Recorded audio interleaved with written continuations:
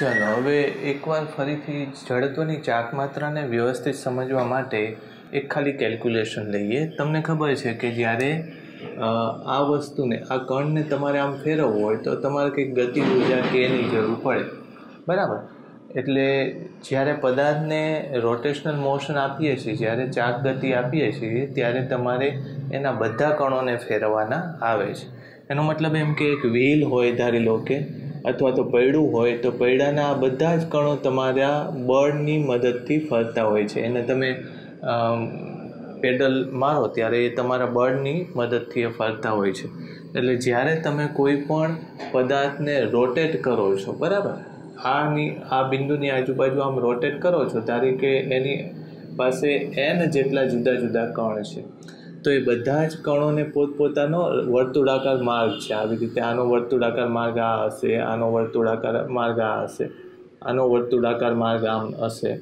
Right એટલે બધા કણોને પોતપોતાનો વર્તુળાકાર માર્ગ હોય છે. એમાં આપણે ફેરવવા માટે કંઈક ને કંઈક ગતિ ઊર્જા લેતા હોય છે. ધારી લો કે પહેલાંની ગતિ ઊર્જા કેટલી થાય છે? તો કે one by two M V square. બરાબર? આવી રીતે લખીએ. અથવા તો બીજી રીતે જો વીની જગ્યાએ ઓમેગા લાવવું હોય તો તમને ખબર પડી જાય કે one by two M R omega R square omega square આવી રીતે થશે.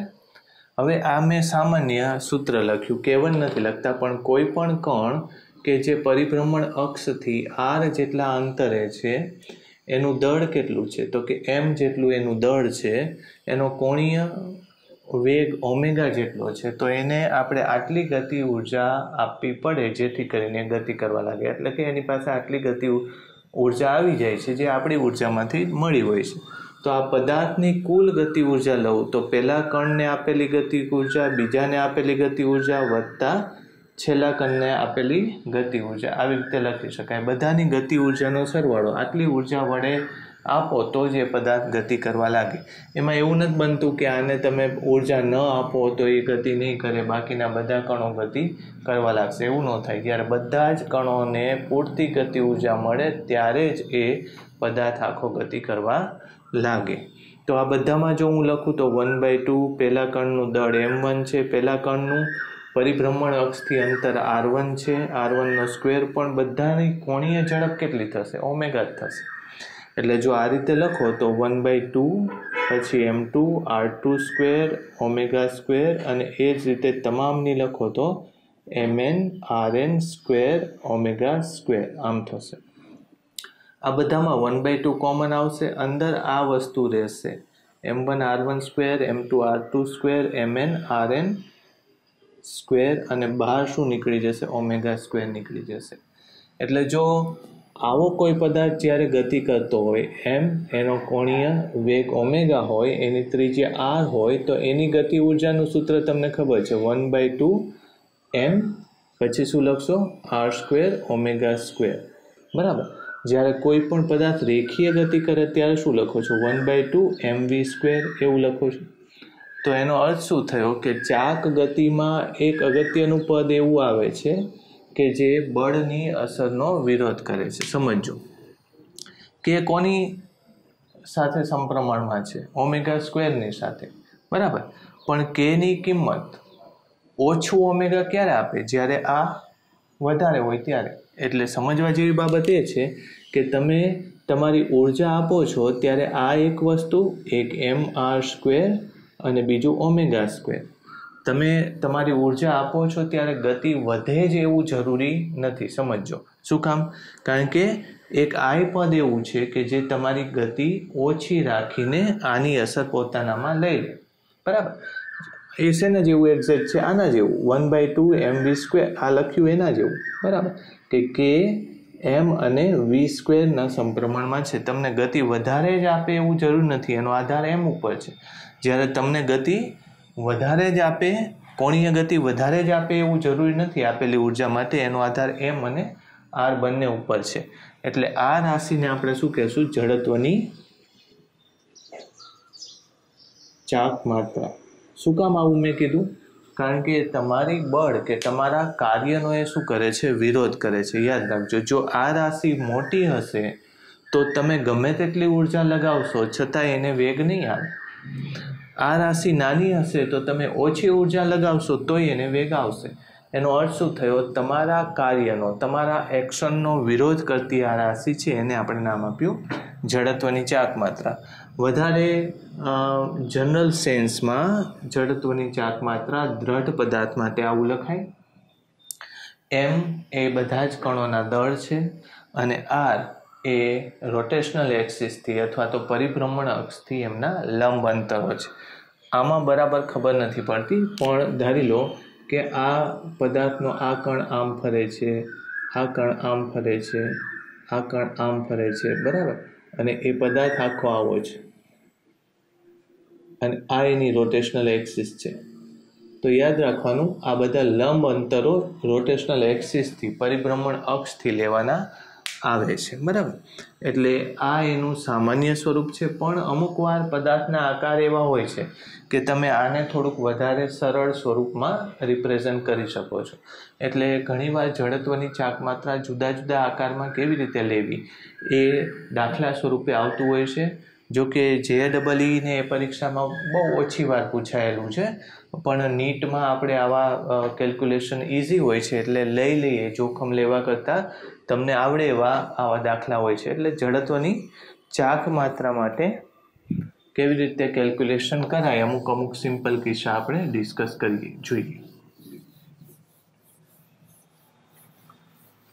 મેં આગળ વાત કરી એમ, જડત્વની ચાક માત્રાનું એક સામાન્ય સૂત્ર જે મેં વાત કરી એ છે, અને ઘણીવાર તમારું સૂત્ર થોડુંક સહેલું બનાવી શકો. ધારી લો કે ચોરસ છે એના દળ આ બિંદુ વચ્ચે. દળ બધા એમ છે. એ અને આવો એક ક્વેશ્ચન આવેલો છે. આ અક્ષને અનુરૂપ જડત્વની ચાક માત્રા શું લખાય? જડત્વની ચાક માત્રાને આઈથી જ વ્યાખ્યાયિત કરવી જરૂરી નથી. યાદ રાખજો. એને ઘણીવાર મોમેન્ટ ઓફ ઇનર્શિયા પણ લખવામાં આવે છે, પણ અત્યારે શોર્ટમાં આપણે આઈ લખીએ. આઈ અહીંયા કેટલું આવશે? તો સૌથી પહેલાં તો આ કે આ પદાર્થ બિંદુવત છે એટલે એનું રોટેશન નથી. યાદ રાખજો. રોટેશન રોટેશનનો અર્થ પોતે કોઈક અક્ષની આજુબાજુ ફરવો જોઈએ. હવે બિંદુવત પદાર્થ આવો ટપકા જેવો હોય, તો પોતાની અક્ષની આજુબાજુ ફરે નહીં. બરાબર? એટલે આ બેને કંઈ જડત્વની ચાક માત્રા આવતી નથી. ટોટલ જડત્વની ચાક માત્રા જો લેશો. તો આની જીરો, પછી આની જીરો, આની લેવાની. એ કેટલી આવશે જોવું જોઈએ. તો કે એમ આનું દળ ગુણ્યા આ અંતર એને અત્યારે આર કહું, આર સ્ક્વેર. પ્લસ આની લેવાની. એમ અને આ જ અંતર. એ પણ આર જ થશે કારણ કે ચોરસ છે એટલે અંતર બેના કેવા થશે? સરખા થશે. તો શું જવાબ આવશે? Two M R square. પણ આર નથી આવ્યો તો તમે જુઓ તો આ એ એ, એટલે આખી આ રેખા કેટલી થશે? અથવા તો આ એ આ એ. આખી રેખાની લંબાઈ કેટલી થશે? તો કે root two A. A square વત્તા એ સ્ક્વેર. બરાબર? આનો વર્ગ. એટલે કેટલો થશે? Root two A. એનું અડધું લેવાનું છે. એટલે આરની વેલ્યુ અહીંયા કેટલી થશે? રૂટ ટુ એ, એનું અડધું. આ આખી લંબાઈ કેટલી થઈ? Root two A. આખી લંબાઈ એટલી થઈ. એનું અડધું એટલે root two A by two આખાનો square બરાબર? કેટલો થશે જો? તો two M two A square by four four નીકળી ગયા. કેટલું થશે? એમ એ સ્ક્વેર તો આવો એનો જવાબ આવશે જડત્વની ચાક માત્રા તમે એને જ, એ જ વસ્તુ લઉં છું, પણ આ એક્સિસની અનુરૂપ લેવાનું છે. જડત્વની ચા પૂછાયેલો ક્વેશ્ચન આ છે, બરાબર? આ કોઈ જે ડબલ ઈમાં એડવાન્સમાં સોરી મેઇનનો પ્રશ્ન છે, બરાબર? હવે આ આ જ કેસ લેવો છે, પણ પરિભ્રમણ અક્ષ આ છે, બરાબર? તો એમાં કેટલું થશે? તો એ પણ આવડે એવું છે ઇઝી છે. જોવું જોઈએ શું કરશો તમે? તો કે આ બે કણોના તો કંઈ જડત્વની ચાક માત્રા નહીં આવે. આ બેની આવશે, એટલે હું જો સીધું જ લખું એટલે ટોટલ બે, બેની સરખી આવશે કારણ કે આ અંતર કેટલું છે? એ જેટલું છે. બરાબર. તો ટોટલ કેટલી આવશે? ટુ એમ અને અંતરનો સ્ક્વેર કેટલું આવશે? Two M A square. બરાબર. તો આ બે એક્ઝામ્પલ થયા. બહુ ઇઝી છે. ઝડપથી નોટ ડાઉન કરી નાખો આને. બરાબર?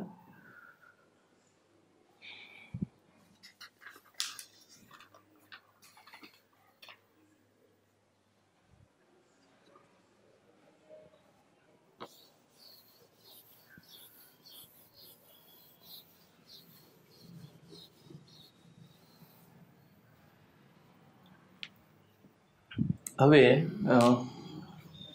આવું લઈએ. એ બી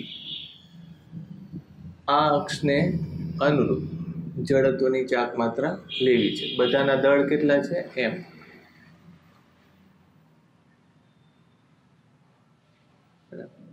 તો આની કેલ્ક્યુલેશન માટે થોડીક આપણે મેથ્સનો યુઝ કરવો પડશે.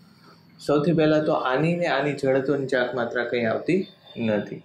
ધારી લો કે આ ઊંચાઈ એલ છે. તો આ ઊંચાઈ પણ કેટલી થવાની? એલ જ થવાની? બરાબર. લંબચોરસમાં જે ડાયાગોનલ હોય અથવા તો જે એને વિકર્ણ હોય, એને આગળના કોઈ બિંદુ સામેના બિંદુ પાસેથી પરપેન્ડિક્યુલર ફીટ અથવા તો લંબપાદ એ એને અંતરો કેવા થવાના? સરખા જ થવાના. એટલે જો જડત્વની ચાક માત્રા લઉં, તો તમે શું લખશો? એમ, એલ સ્ક્વેર, આની લખીએ આપણે? Plus M, L square. એટલે ટોટલ થશે ટુ એમ, એલ સ્ક્વેર. પણ એલ લેવાનું આવે. હવે એલ કેવી રીતે લેશો? તો આમાં મેં તમને કહ્યું એમ મેથ્સનો યુઝ કરવો પડશે. જો આ ત્રિકોણ માટે હું ક્ષેત્રફળ લઉં તો કેટલું થાય? તો કે આખો જે ડાયાગોનલ છે, એને આપણે શું અત્યારે ડી લઈ લઈએ? આખા ડાયાગોનલને શું કરી નાખીએ? ડી કરી નાખીએ. સમજો. તો આ ત્રિકોણનું હું ક્ષેત્રફળ લઉં તો કેટલું થાય? વન બાય ટુ પછી ડી અને એલ થાય એવું? આ ત્રિકોણનું ક્ષેત્રફળ એટલું જ થશે. One by two D L. એટલે આખા આ લંબચોરસનું ક્ષેત્રફળ આવી ગયું. એ કેટલું થાય? તો કે એ ગુણ્યા બી. એ કેટલું થશે? એ ગુણ્યા બી. સમજ પડી ગઈ? હવે ડી અને હજુ એકવાર લખી નાખીએ શું થશે? આ બેનો સરવાળો ડી ગુણ્યા L is equal to A ગુણ્યા બી. થાય ડી તમને ખબર છે. ડી કેટલો છે? તો કે આ એ છે. આ બી છે. તો A square plus B square is equal to D square એટલે એના ઉપરથી શું થાય? Root A square plus B square A D થશે. બરાબર? Into L is equal to A B અહીં શું લખ્યું મેં? D is equal to root A square plus B square થાય? હવે મારે શું જોઈએ છે? અત્યારે એલ જોઈએ છે. Therefore L is equal to A B upon root A square plus B square આવી ગયું? એ અને બીના ફોર્મમાં એલ જોઈએ છે. આમાં મૂકી દો તમે આન્સર આવી જશે. I is equal to two M એલનો square એટલે શું થશે? A square B square by A square plus B square લ્યો, આ જડત્વની ચાક માત્રાનું સૂત્ર આવશે. પણ હવે તમે યાદ રાખજો, આ દાખલો મેં પર્પઝફુલી લીધેલો છે. કેવી રીતે? તો કે જ્યારે મારે લંબ અંતર શોધવું હોય, બરાબર? એક બાજુ આ બે બિંદુ વચ્ચેનું લંબ અંતર આને એક્સને અનુરૂપ લેવાનું હોય તો એક બાજુનું અંતર જો એ હોય સોરી બી હોય, એને લંબ બીજું અંતર એ થતું હોય, તો આ અંતર હંમેશા કેટલું લેવાનું? તો કે A B upon root A square plus B square ફરીથી કહું છું, યાદ રાખજો કે જ્યારે આવી રીતે કોઈ અક્ષને અનુરૂપ કોઈ પરિભ્રમણ થતો હોય ધારો કે એક મેં દોરી બાંધેલી છે. આ દોરીની લંબાઈ એલ છે. આ લંબ થઈ જાય છે. અને આ ધારો કે આને પી કહીએ, આને ક્યુ કહીએ. અને તમને આનું દળ આપેલું છે. એમ એમનું જડત્વની ચાક માત્રા શોધવી હોય તો આઈ ઇઝ ઇક્વલ ટુ આ લંબ અંતર. લંબ અંતર મેં કેટલું કીધું? તો કે પી ક્યુ આ ક્યુ છે. બાય રૂટ પી સોરી પહેલાં તો શું દળ લઈએ ને? જડત્વની ચાક માત્રા એટલે એમ આર સ્ક્વેર એટલે દળ એમ નમ. પછી આર એટલે શું? P Q divided by P square plus Q square એનો સ્ક્વેર એટલે M P square Q square by P square plus Q square લો, આવું થાય. આ યાદ રાખજો, કારણ કે આના આધારે ઘણા ડિફિકલ્ટ ક્વેશ્ચન બની શકે. ચલો એકાદો લઉં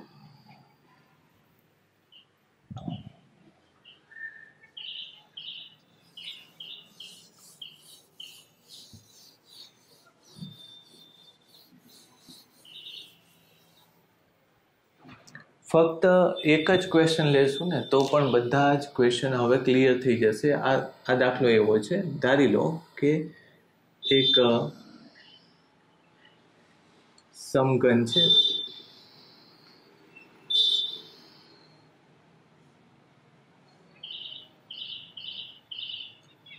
ક્યુબ અથવા તો સમઘન. બધાના દળ કેવા છે? એમ છે.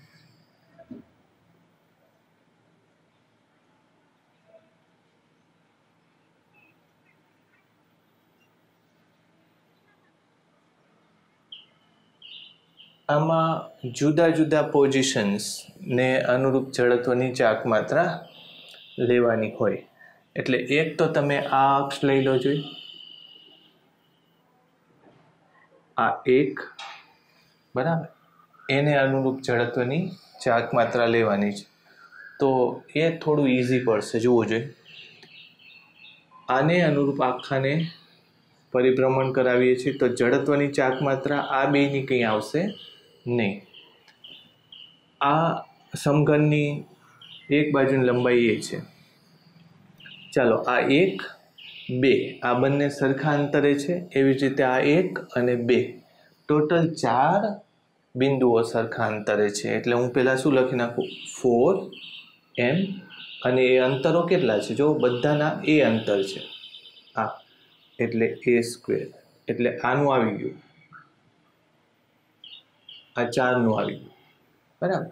હજુ એક લેવાના છે બે બિંદુઓ લેવાના છે. એ કયા થશે? આ. બરાબર. એટલે પ્લસ કેવા છે? બે પોઈન્ટ બે પોઈન્ટ છે એટલે ટુ. એનું દળ એમ. અને આ અંતર લેવાનું કેટલું થાય? આ એ એને લંબ એ. એટલે આ અંતર કેટલું થશે? Root two A. આ બે અંતરો રૂટ ટુ એ લંબ અંતર લેવાના છે એટલે રૂટ ટુ એ આખાનો સ્ક્વેર. એટલે four M A square plus two M into two A square એટલે એઇટ એમ એ સ્ક્વેર. આવો થશે જવાબ. સમજ પડી? ઓકે. હવે એક તમને હોમવર્કમાં આપું છું. એ કયું લેશું? આકૃતિ એની એ જ, પણ હું ખાલી અક્ષ દર્શાવું છું. આ અક્ષને અનુરૂપ લેવાનું છે. બોલો જી. આ અક્ષને અનુરૂપ પરિભ્રમણ કરે તો એની જડત્વની ચાક માત્રા લેવાની છે. બરાબર. એ તમારું હોમવર્ક પણ એનાથી વધારે ડિફિકલ્ટ હું અત્યારે સોલ્વ કરું એટલે આ તમારે થઈ જશે. આ તમારું હોમવર્ક છે. લખી નાખજો. શું કરવાનું છે? આ બે બિંદુમાંથી પસાર થતી એટલે કે એક બાજુના ડાયગોનલ વિકર્ણ, એક બાજુના વિકર્ણને અનુરૂપ જડત્વની ચાક માત્રા લેવાની છે. બરાબર? ઓકે. હવે હું જે કરાવું છું, એ બોડી ડાયગોનલ કરાવું છું, એ એનાથી વધારે અઘરું છે. બરાબર? તો એ લઈએ.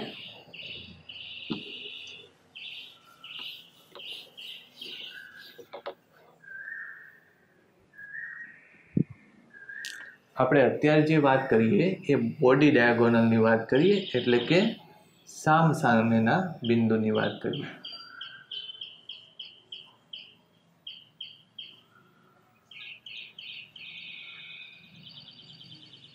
આ પસાર થતી અક્ષને અનુરૂપ લેવાનું છે. બરાબર? તો હવે કયા કયા પોઈન્ટ બાકી વધશે? હજી એકવાર વ્યવસ્થિત દોરવું પડશે તમને ખબર પડે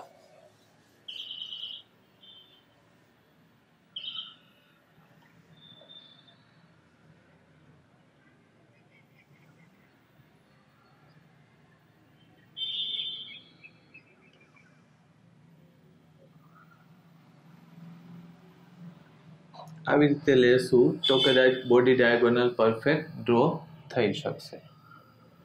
આની વાત કરીએ, ચલો. આ બોડી ડાયાગોનલ આને અનુરૂપ આમ પરિભ્રમણ કરે છે. એ લઈએ.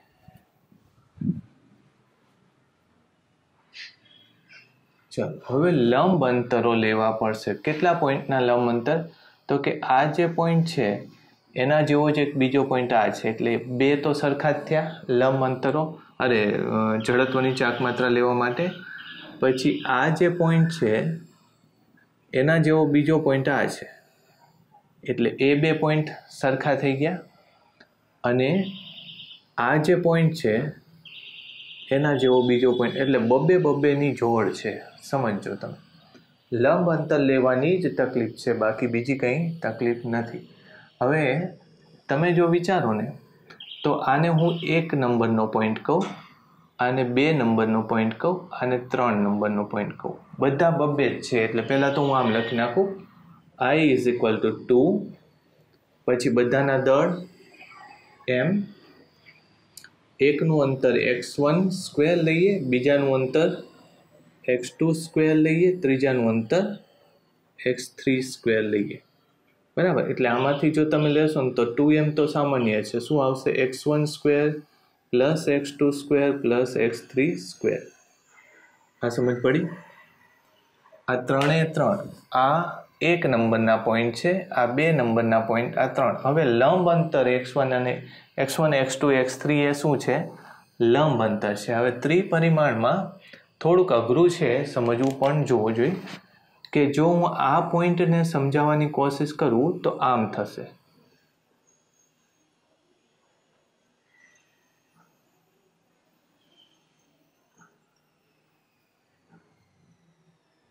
જો, આ અંતર તમને ખબર છે કેટલું છે? એ છે.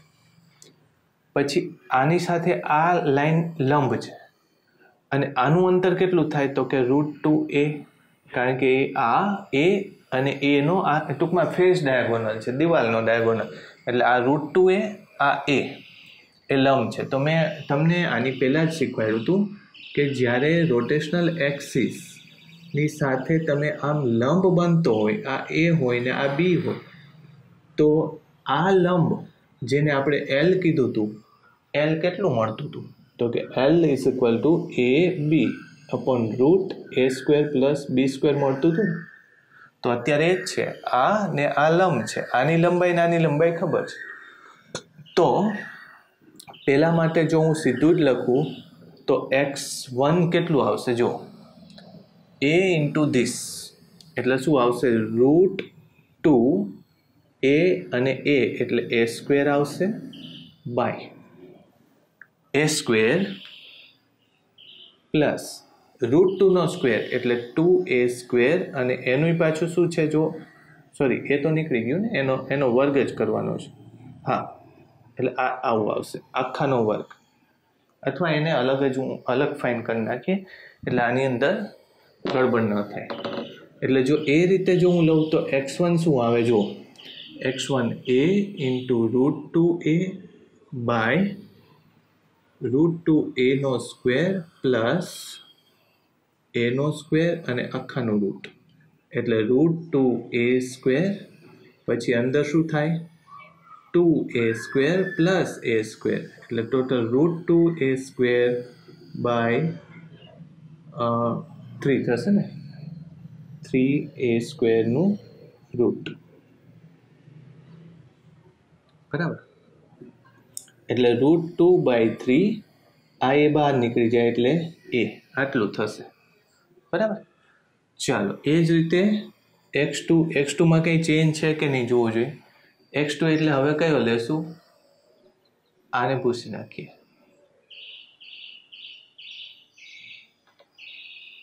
બરાબર?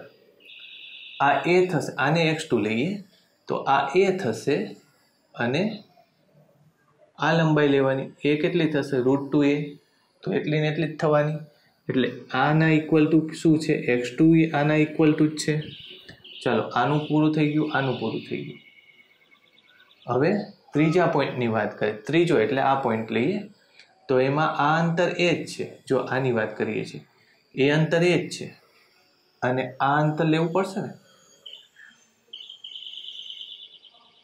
તો વળી પાછું એ કેટલું થશે? Root two A. ટૂંકમાં ત્રણે ત્રણ કેવા છે? સરખા જ છે. થોડુંક ડિફિકલ્ટ છે, પણ ત્રણે ત્રણ કેવા આવે છે? સરખા જ આવે છે. તો અહીંયા ફરીથી લખું ટુ એમ, પછી આ જે આન્સર આવ્યો ને, એને હું આ ત્રણ ત્રણ સરખા છે, એટલે આમ તો આમ કરી નાખી. થ્રી એક્સ વન સ્ક્વેર, આમ કરી નાખો. ટુ એમ, પછી થ્રી એક્સ વન, એટલે આનો સ્ક્વેર, એટલે કેટલો આવશે? Two by three A square.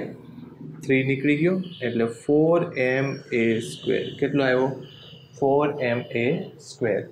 જોઈ લો, આ એટલું બધું ડિફિકલ્ટ નથી. આપણે જે મેં તમને આ કોન્સેપ્ટ સમજાવ્યો તો એ કોન્સેપ્ટ જો તમને આવડે ને, તો આના બધા જ ક્વેશ્ચન તમે આરામથી સોલ્વ થઈ શકે એવું છે.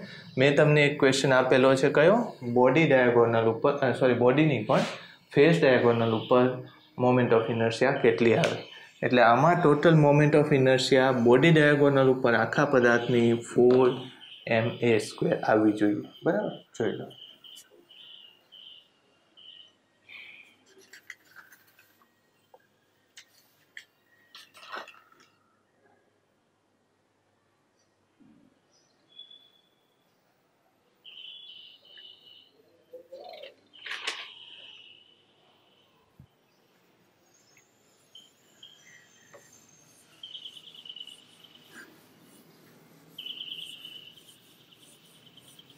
હવે બીજા જે કોમન ક્વેશ્ચન છે, એ પણ લઈએ કે આપણી પાસે એક રોડ હોય અથવા તો સળિયો હોય, તો સળિયાનો ક્વેશ્ચન તો આપણી કદાચ ગુજરાત બોર્ડ એનસીઆરટી બોર્ડની ટેક્સ્ટબુકમાં હોય છે. સળિયામાં અક્ષ ગમે ત્યાં આપ્યો હોય, બરાબર? એટલે એને કેવી રીતે ટ્રીટ અહીંયા અક્ષ આપ્યો હોય, વચ્ચો વચ્ચે આપ્યો, પણ આપણે આમ લઈએ. સળિયાની લંબાઈ પહેલાં તો લઈ લઈએ. આ અક્ષ છે, આ અક્ષને અનુરૂપ સળિયાને આપણે ફેરવવો છે. આનું દળ એમ છે અને આખા સળિયાની લંબાઈ એલ છે. દ્રવ્યમાન એનું યુનિફોર્મલી ડિસ્ટ્રીબ્યુટ કરેલું છે એટલે એ અચળ છે. તમને અહીંથી એલ વન લંબાઈએ પરિભ્રમણ અક્ષ આપેલી છે. તો તમારે સળિયાનું એને સેન્ટર ઓફ માસ અરે મોમેન્ટ ઓફ ઇનર્શિયા ફાઇન કરવું છે. તો ઇઝી છે આમ તો કે અહીંથી કેટલા એક્સ અંતરે તમે જઈને શું કરવું પડે? તમારે નાનો એવો ખંડ લેવો પડે. કેટલા? ડીએક્સ જેટલો. એનું દળ કેટલું લેશો? તો કે એનું દળ ડીએમ છે. તો ડીએમ બરાબર શું થશે? બરાબર. ડીએમ હોય એનું દળ. તો એ ટુકડાની જડત્વની ચાક માત્રા કેટલી થાય? તો કે એનું દળ આ પદાર્થ ફરે છે, આમ સમજો. બરાબર. તો એનું દળ કેટલું? તો કે ડીએમ અને એનું અંતર કેટલું? ગુણ્યા એક્સ સ્ક્વેર આમાં સમજ પડી ગઈ? આખો સળિયો હું ધ્યાનમાં નથી લેતો. આટલા ટુકડાની જડત્વની ચાક માત્રા લઉં. આ ટુકડાનું દળ કેટલું માપશો તમે? આ ટુકડાનું દળ આવશે ડીએમ. સમજાય તો જડત્વની ચાક માત્રા આટલી થશે.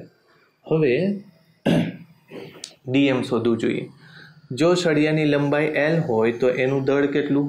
એમ. જો સળિયાની લંબાઈ ડીએક્સ હોય તો એના દળને મેં નામ આપ્યું છે ડીએમ. તો શું થશે? એમના છેદમાં એલ ગુણ્યા ડીએક્સ. આ હકીકતમાં શું છે? દ્રવ્યમાન ઘનતા. રેખીય ઘનતા. એને ઘણીવાર શું લખીએ છીએ? લેમડા પણ લખીએ છીએ. યાદ રાખજો ઘણીવાર લેમડા આપ્યું હોય તો આને આમ પણ લઈ શકાય. એમાં વેલ્યુ મૂકી દઉં તો ડીઆઈ ઇઝ ઇક્વલ ટુ એમના છેદમાં એલ ગુણ્યા ડીએક્સ ગુણ્યા એક્સ સ્ક્વેર આવું થશે? ઓકે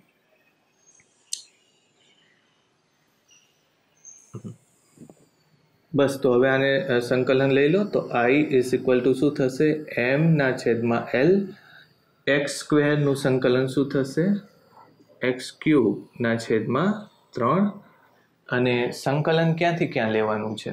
તો આનાથી આ બાજુ જાઓ એટલે એલ વનથી નથી લેવાનું, પણ માઇનસ એલ વન આવે ને, આ બાજુનું અંતર આ ટપકાથી પેલો ટુકડો થાય, એટલે આ અંતર કેટલું થાય? માઇનસ એલ વનથી આ બાજુ આ કેટલો છે? L one sorry L minus L one L minus L one સમજો ટુકડો અહીંથી ચાલુ કરવો છે. એટલે સામેની બાજુ છે, એટલે માઇનસ એલ વનથી ચાલુ કરીને આ બાજુ જવાનું છે. અને આ અંતર કેટલું આવશે અહીંથી? તો કે એલ માઇનસ એલ વન એટલે એલ વન માઇનસ એલ વનથી ચાલુ કરીને એલ માઇનસ એલ વન સુધી જવાનું છે. એમ અપોન એલ પછી આને જો લખશો થ્રી બાર લઈ લો. તો આને શું લખશો તમે? એલ માઇનસ એલ વન નો ક્યુબ માઇનસ પછી માઇનસ એલ વનનો ક્યુબ બરાબર? એટલે એમ અપોન થ્રી એલ પછી એલ માઇનસ એલ વનનો ક્યુબ પ્લસ એલ વનનો ક્યુબ આવું થશે. આ જનરલ ફોર્મ્યુલેશન છે. મારે એકવાર ફરીથી કદાચ કહેવું પડે તમને? કે આને અનુરૂપ પરિભ્રમણ કરવું હોય તો અહીંયા બધા ટુકડાઓનું અંતર જુદું જુદું છે એટલે સંકલન સિવાય આમાં કંઈ ઓપ્શન નથી. એટલે એક્સ અંતરે જઈને ડીએક્સ જેટલી જાડાઈનો ટુકડો તમે લઈ લો, એની જો જડત્વની ચાક માત્રા લો તો એનું દળ ગુણ્યા એક્સ સ્ક્વેર આનું દળ એમ ડીએમ છે અને એક્સ સ્ક્વેર એની જડત્વની ચાક માત્રા થશે. એનું દળ કેટલું થાય? આખી લંબાઈ હોય તો દળ એમ ડીએક્સ લંબાઈ હોય તો દળ કેટલું? તો કે એમના છેદમાં એલ ગુણ્યા ડીએક્સ આવી રીતે લઈ લેવાય. એને જો તમે આની અંદર સબસ્ટિટ્યૂટ કરો તો આ જવાબ આવે. હવે આની અંદર બે સ્પેશિયલ કેસીસ લઈ લેવાય. બરાબર? સ્પેશિયલ કેસીસ એ કયા છે?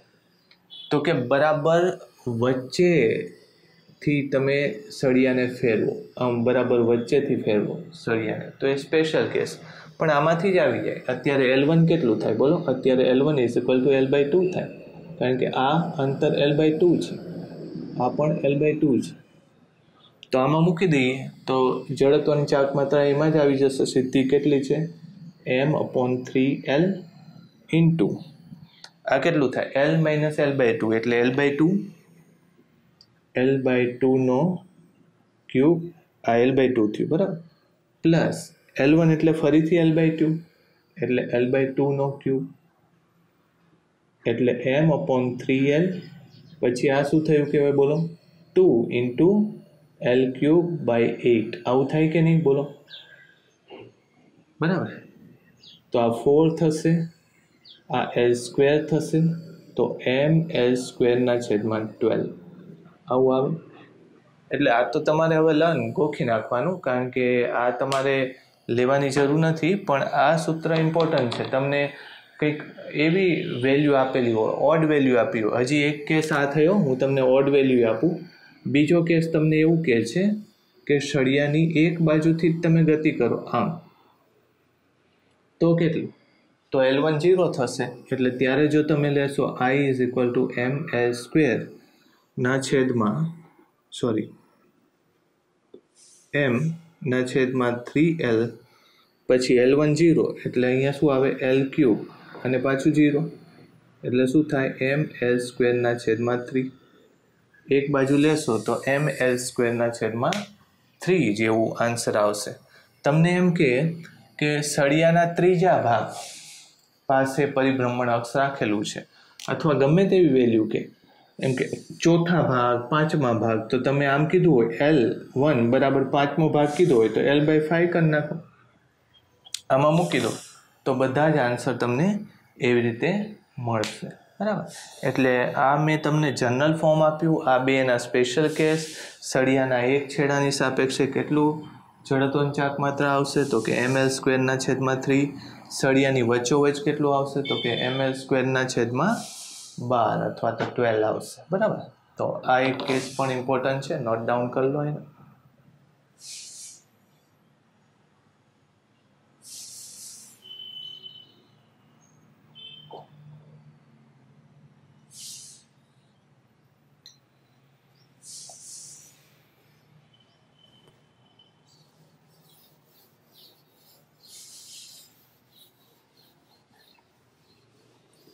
સળિયામાં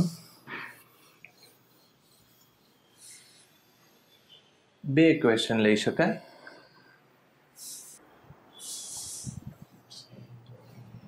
એવો જ કેસ ધારી લો કે સળિયા માટે કીધું હોય, સળિયાની ઘનતા બદલવાની છે, બરાબર?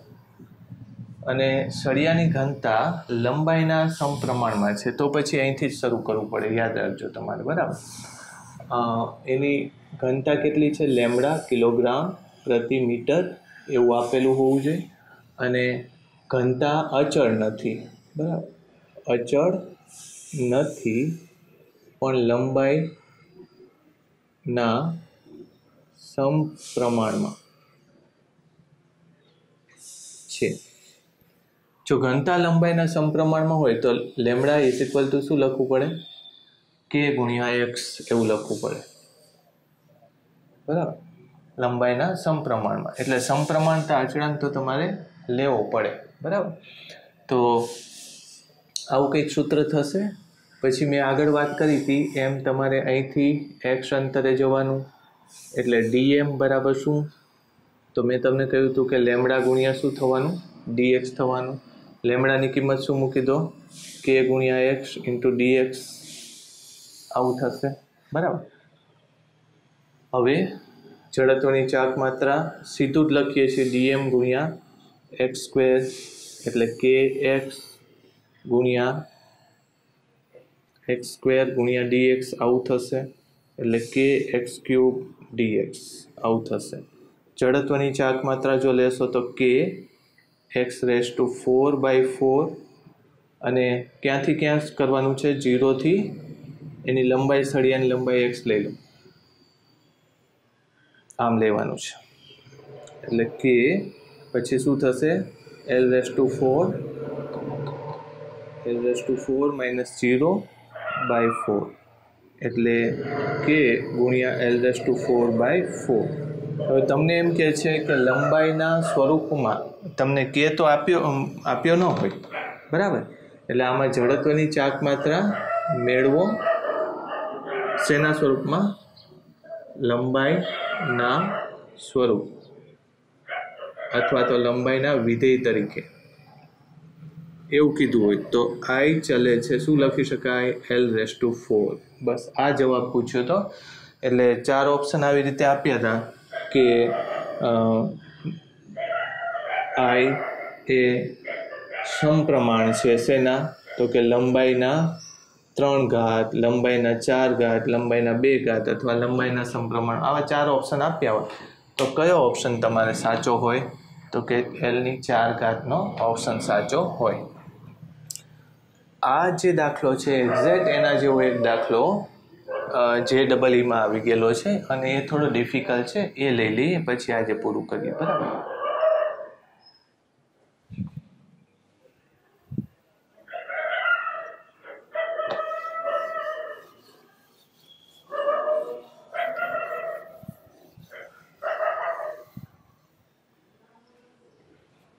ક્વેશ્ચન એનો એ જ છે. લંબાઈના સમપ્રમાણમાં છે, પણ થોડીક અલગ વાત કરેલી છે. લેમડા કિલોગ્રામ પ્રતિ મીટર, બરાબર? બે પોઈન્ટ આપ્યા છે. આની અબાઉટમાં રોટેશન થાય છે. આ એ છે ને આ બી છે. એ પાસે એની જે ઘનતા છે લેમડા વન છે. બી પાસે એની જે ઘનતા છે લેમડા ટુ છે. લેમડા અંતરના સમપ્રમાણમાં છે.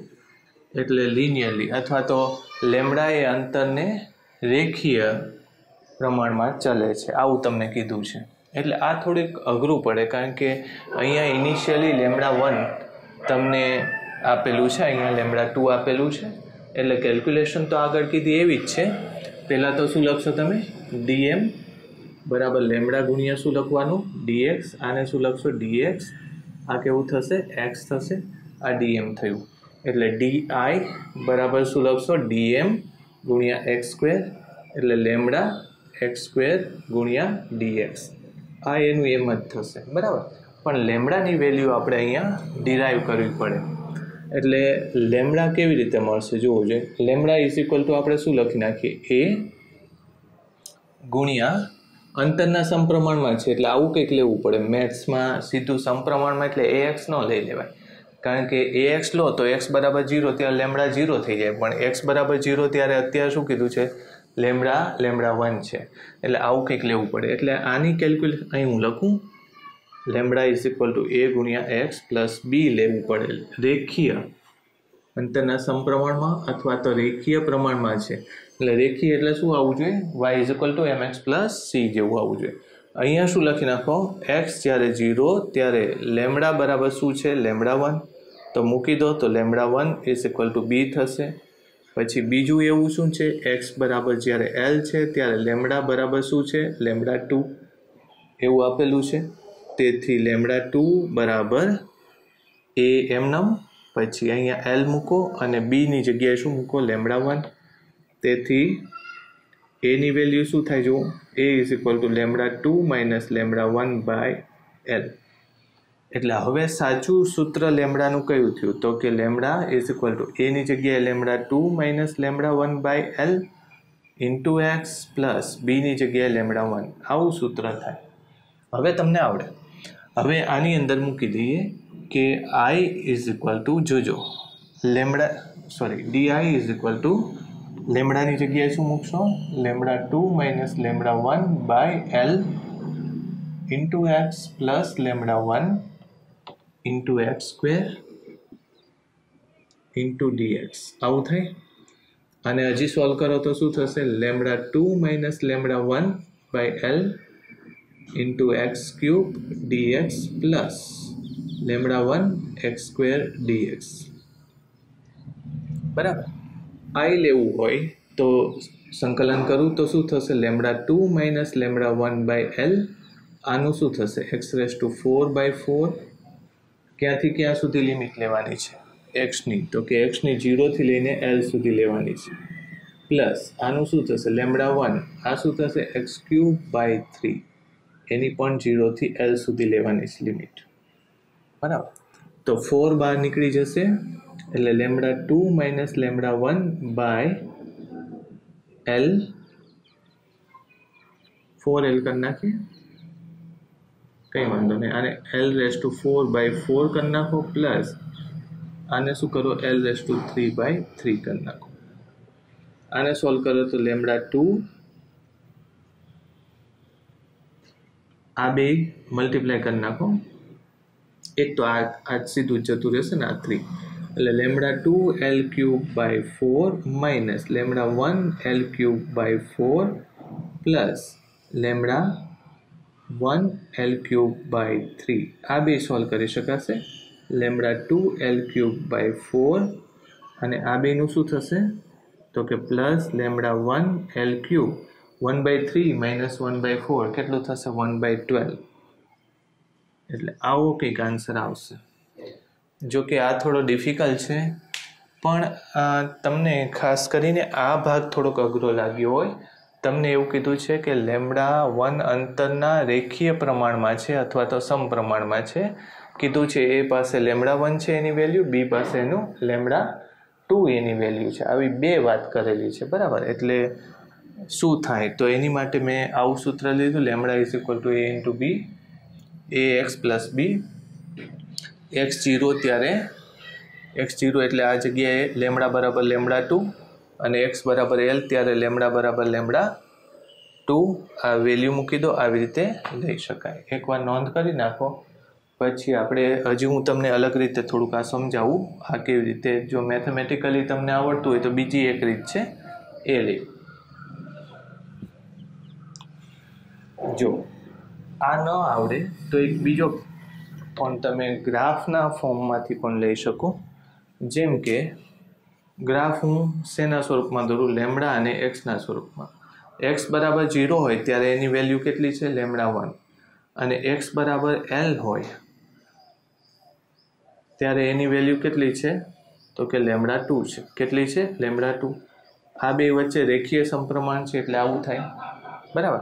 તો આ લાઈન કેવી હોય? તો કે y is equal to M x plus C જેવી હોય. તો સી કયો છે? તો કે લેમડા છે? સી કયો છે? લેમડા વન છે. એમ કેટલો છે? તો એમ એટલે આનો ઢાળ. તો આ કેટલું છે? Lambda two minus lambda one. આ કેટલું છે? એલ એટલે ઢાળ કેટલો થાય? Lambda two lambda two minus lambda one by L into x plus C મેં તમને શું કીધું? લેમડા વન છે. તો આવી ગયો એ જ વસ્તુ. અને વાયની જગ્યાએ શું લેશો? લેમડા લેશો. આવી જઈ જવાબ. બરાબર? તો એનું એ જ પાછું અહીંયા આવી જાય છે. તો આજે મેં જડત્વની ચાક માત્રાવાળા ઘણા દાખલા લીધા. એકવાર રિવાઇઝ કરજો. બહુ આવતા નથી, પણ નીટમાં શક્યતા ખબર નહીં આવી તે. જે ડબલ ઈમાં બહુ ઓછા આવે છે. બરાબર? પછી આગળ ચલાવશું. Thank you